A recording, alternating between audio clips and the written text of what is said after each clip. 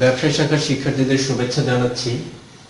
আজকে আমরা আলোচনা করব সিম্পল ইন্টারেস্ট ক্যালকুলেশন এখানে আমরা একটা এক্সাম্পল দিয়েছি, যেটি হচ্ছে find the simple interest of টাকা forty thousand for five years at eight percent interest per year অর্থাৎ, এখানে বলা হচ্ছে, চল্লিশ হাজার টাকা আগামী পাঁচ বছরের জন্য যদি আমরা বিনিয়োগ করি এবং সুদের পার্সেন্টেজ কিংবা সুদের হার যদি আট পার্সেন্ট হয়, সেক্ষেত্রে সুদে আসলে, অর্থাৎ কত টাকা আমরা সুদ হিসেবে পাব এবং সেটা অবশ্যই হিসাব করতে হবে সরল সুদে বা সিম্পল ইন্টারেস্টে আমরা যদি সিম্পল ইন্টারেস্ট ক্যালকুলেশনের সূত্রটা লিখি, তাহলে দাঁড়ায়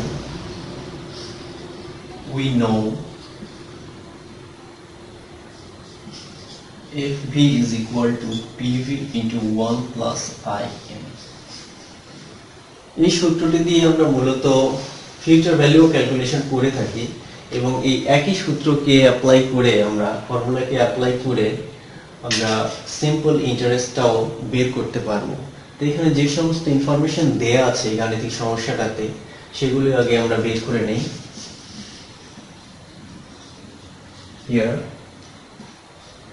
If v is equal to what? অর্থাৎ আমরা এই চল্লিশ হাজার টাকা আজকে বিনিয়োগ করছি এবং ভবিষ্যতে আট পার্সেন্ট সুদে পাঁচ বছর পরে কত টাকা পাবো সেটি আমাদের ফিউচার ভ্যালু যেহেতু আমাদের অঙ্কে এটি দেয়া নেই, গাণিতিক সমস্যাতে সুতরাং এখানে আমরা হোয়াট চিহ্নটি বসিয়েছি।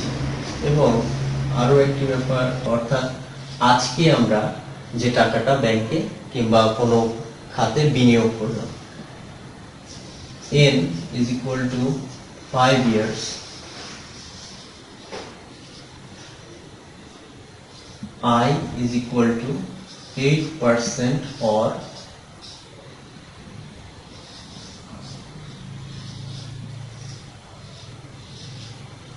zero eight তো এখন এই তিনটা ইনফরমেশন দিয়েই, অর্থাৎ তিনটা তথ্য থেকেই আমরা সাধারণত ইন্টারেস্টটা ক্যালকুলেশন করতে পারব।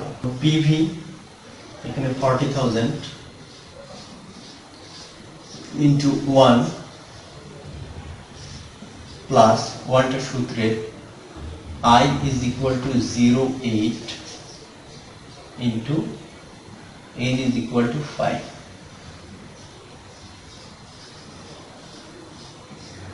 সাধারণ অ্যালজেব্রা নিয়মে এখন যদি অঙ্কটা করি, তাহলে পাবো one plus point four zero এই ক্ষেত্রে forty thousand into one plus four zero calculator use করলে আমরা ফর্টি থাউজেন্ডকে যদি ওয়ান পয়েন্ট ফোর কিংবা ওয়ান পয়েন্ট ফোর জিরো দিয়ে যদি আমরা গুণ করি, তাহলে যে রেজাল্টটি পাবো সেটি হচ্ছে ছাপ্পান্ন হাজার। ফিফটি সিক্স থাউজেন্ড টাকা। তো এই টাকাটাকে আমরা চল্লিশ হাজার টাকা পাঁচ বছরের জন্য বিনিয়োগ করলাম আট পার্সেন্ট সুদে। এই ক্ষেত্রে আমরা পাঁচ বছর পরে আমরা টোটাল টাকাটা পাবো ছাপ্পান্ন হাজার টাকা। তো চল্লিশ হাজার টাকা, ছাপ্পান্ন হাজার টাকায় কনভার্ট হয়ে গেল। এখন আমরা যদি আমাদের বিনিয়োগকৃত টাকাটাকে এই সুদে আসলে যা পেলাম, সেখান থেকে যদি মাইনাস করে দেই, যে অ্যামাউন্টটা থাকবে, সেটি হচ্ছে আমাদের interest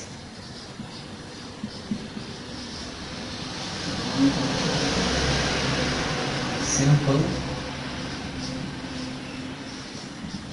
Interest is equal to FV minus PV অর্থাৎ এটি আমাদের ফিউচার ভ্যালু যেটি আমরা পেলাম, সুদে আসলে সেই ছাপ্পান্ন হাজার টাকা মাইনাস আমরা যে টাকাটা বিনিয়োগ করেছিলাম, অর্থাৎ ফর্টি থাউজেন্ড টাকা।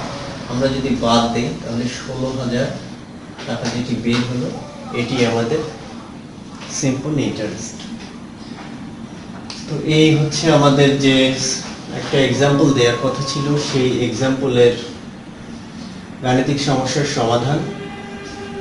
পরবর্তীতে আমরা সিম্পল ইন্টারেস্ট নিয়ে আরও আলোচনা করব এবং এইটারই আরও একটা অল্টারনেটিভ ওয়ে আছে, সেটা নিয়েও আমরা আলোচনা করব, একই ধরনের গাণিতিক সমস্যা নিয়ে।